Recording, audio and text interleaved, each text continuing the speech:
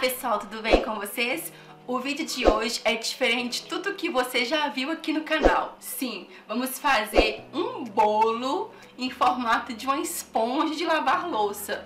Bolo em formato de esponja? Sim, então vem com a gente porque o vídeo está simplesmente sensacional. Vamos começar colocando na batedeira 200 gramas de açúcar, pode ser cristal ou refinado e 100 gramas de manteiga sem sal. Essa manteiga precisa estar em ponto de pomada, tá? Ponto de pomada é o ponto que você passa a espátula e ela parece uma pomada mesmo. Vou bater esses dois ingredientes até formar um creme.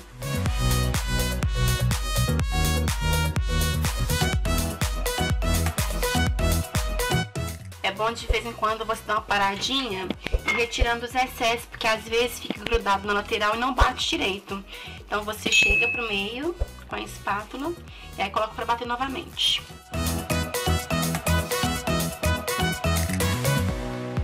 Vai formar esse creme aqui, um creme mais consistente, tá vendo? E é isso mesmo. Esse é o jeito certo. Agora eu vou acrescentar o óleo, a essência de baunilha, o sal e os ovos de um a um. Lembrando que os ingredientes, a lista estará na descrição do vídeo, né amor? Uhum. Então vou bater em velocidade baixa para ir acrescentando esses ingredientes. Aí sempre você para e limpa aqui nas laterais, porque fica grudado. Que olha, tá vendo como ficou grudado? Aí você para e dá uma limpada para ficar tudo homogêneo.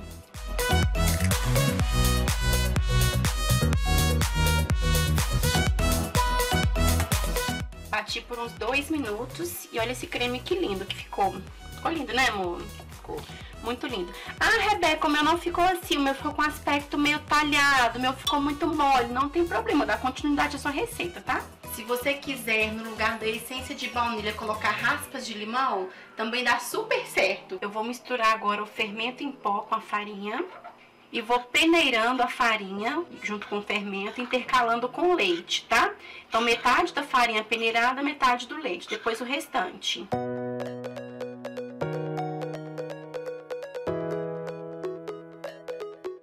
Lembrando que essa parte a gente mexe delicadamente para não desenvolver o glúten.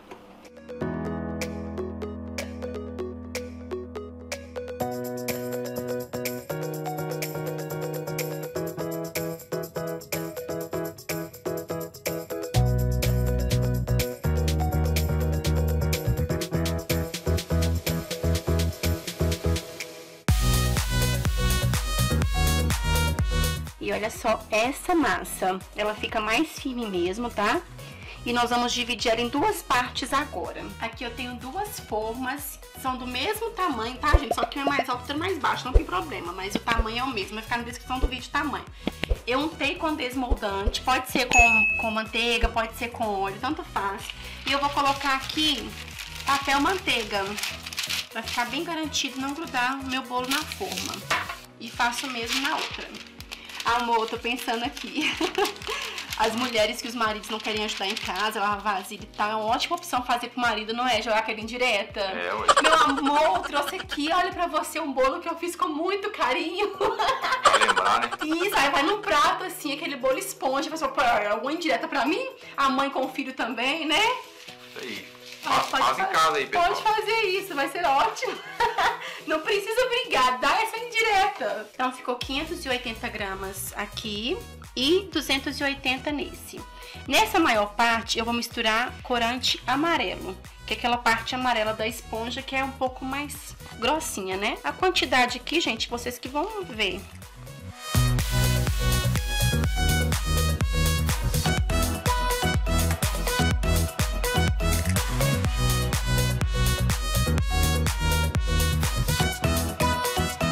Então aqui cheguei no meu amarelo.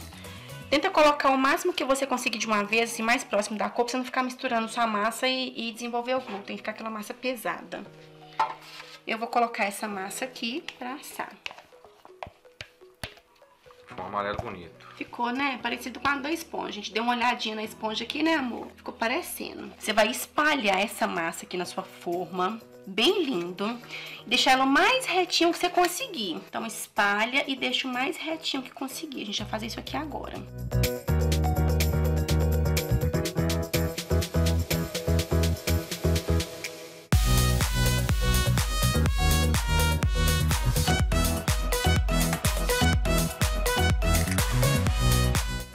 Eu deixei o amarelo mais lisinho que eu consegui, o mais retinho, na verdade. E agora eu faço o mesmo processo com o verde, tá? Eu vou pegar a parte menor, vou tingir com esse verde folha, pode ser um outro verde, o verde comum que você tiver. E vou espalhar bem pra ficar bem niveladinho na minha segunda forma. Música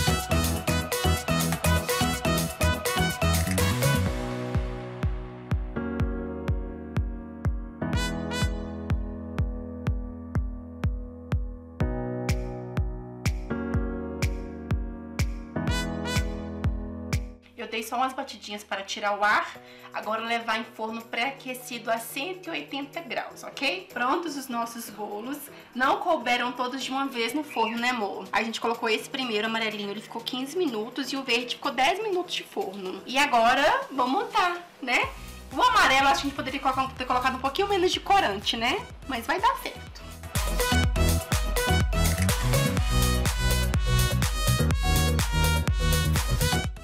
Agora que a gente tira o acetato. acetato. Gente. Ah, falei acetato. Papel manteiga. Eu tô acostumada a montar bolo com acetato.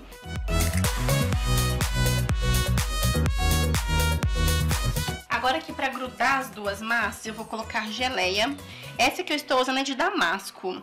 Antes eu tinha pensado em colocar uma ganache, só que ganache, como é marrom, na hora de cortar ia ficar tipo parecendo sujo, né amor?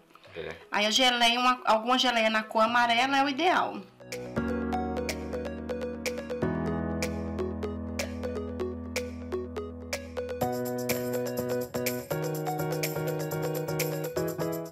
Agora eu tiro também bem delicadamente, porque essa massa de cima verde, ela é bem fininha. Então tem que tirar com todo amor e carinho.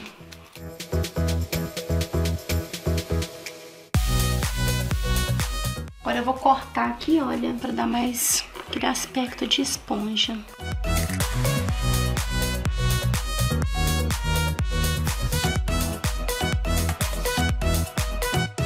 Agora eu vou passar essa faca aqui assim um pouquinho, olha, para dar aquele aspecto de esponja, como é que fala, Arthur? Áspera. Áspera, sabe? Eu passando aqui um pouquinho, até também para tirar um pouco do verde, para ficar mais aquele aspecto da esponja.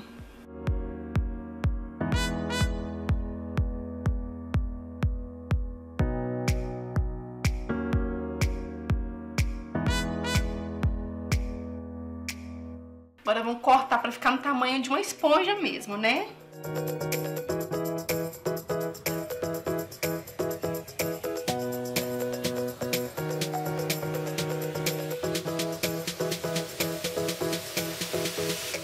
Aqui eu tenho é, uma clara de ovo, na verdade clara de um ovo, né? E uma colher de sopa de açúcar refinado. Eu vou colocar aqui, misturar esses dois e vou colocar no banho-maria, mexendo até não sentir mais os grãozinhos da clara. Aí aqui, ó, já não tô sentindo mais nenhum grãozinho de açúcar. Então agora eu vou bater essas claras pra fazer a espuma do meu, da minha, minha esponja, que vai ser meu merengue, na verdade. Agora eu vou virar essas claras com meu açúcar aqui. Vou fazer um merengue, na verdade. Mas eu vou fazer um merengue bem assim... Não vou bater até chegar ao ponto de firme, não. Vou bater bem pouquinho pra ele ficar parecendo com a espuma. Posso fazer com mix igual fazer, posso fazer até com garfo mesmo, se quiser bater pode. Se quiser fazer na batedeira pode também, aí fica a seu critério, tá?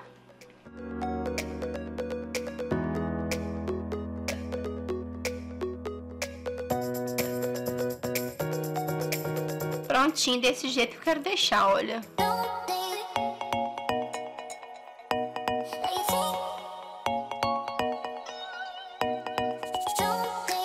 Pessoal, as esponjas, as esponjas é ótimo, né, amor? É esponja. O bolo tá pronto, o bolo em forma de esponja. Renderam oito no total, né? A gente tá com quatro aqui, mas tem mais quatro. A gente ficou muito parecido com a esponja, não ficou? Ficou idêntico. E olha aqui a espuma.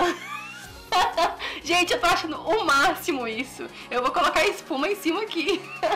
pra gente comer. Pode colocar, amor? Pode. A espuma do DT. Olha só! Gente, é o máximo isso aqui. Olha só isso! Ah, não, gente, sensacional! Tá parecendo que eu vou comer uma esponja de lavar vasilha. Top demais. Pode comer, amor? Pode. Pode. Coloca mais uma beiradinha pra você morder a beiradinha. Mais aqui assim? É, o... mais, mais espuma. Isso. Vai derramar aqui, olha. Deixa eu derramar. Vai derramar. Olha só. Tchan, tcharam. Vou comer uma esponja. Pode ir? Vamos aí, depois fala o gosto da esponja. Ai.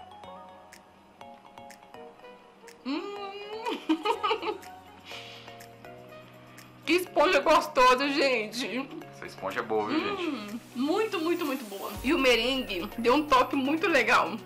Ficou muito bom. É um bolo, gente. O corante não deixou sabor residual, então não tá amargo. Então, gosto muito bom, sabor muito bom. Tá perfeito. Quero lavar vasilha só assim agora. Esse aqui é o bolo. É. Mas tá muito legal. Eu amei a ideia, amor. É, a geleia deu um gostinho muito especial. Uma camada bem fina. Mas tá muito parecido com a esponja. Dá pra fazer decoração, né? Tipo assim, um bolo com esponja, alguma dá, coisa assim. Dá, sim. Uma decoração, assim, bacana. Hum. Mas assim, eu achei sensacional a ideia, olha só. Ficou muito parecido com a esponja. Vou mandar a foto pra minha irmã, falar assim, nem tem bolo aqui pra você, mandar essa foto. Ela vai achar o quê, amor? Eu tô mandando uma vasilha. É. Mas é isso, é o vídeo de hoje. Espero muito que vocês tenham gostado. Se você gostou, por gentileza, dá o joinha, clique no gostei. Se tá gostando de vídeo desse tipo que é diferente, né, amor? Isso mesmo. Fala com a gente nos comentários aqui. A gente quer muito saber se vocês querem mais vídeos desse estilo. E é isso. Até o próximo vídeo, se Deus quiser. Tchauzinho, Deus abençoe vocês.